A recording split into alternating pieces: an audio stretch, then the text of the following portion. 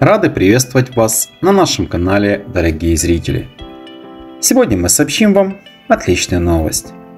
28 марта на канале Домашний состоится премьера четырехсерийного сериала «Больше, чем прикосновение».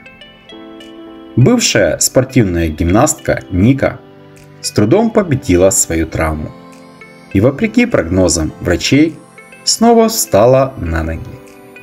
Теперь она помогает таким же, как она. Работает тренером-реабилитологом.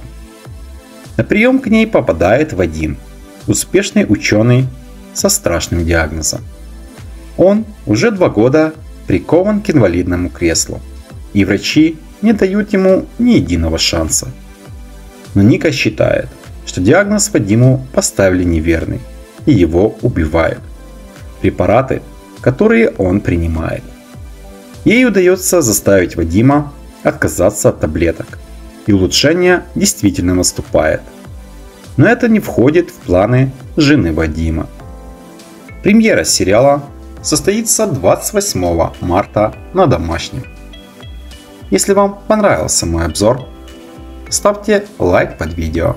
Приятного просмотра!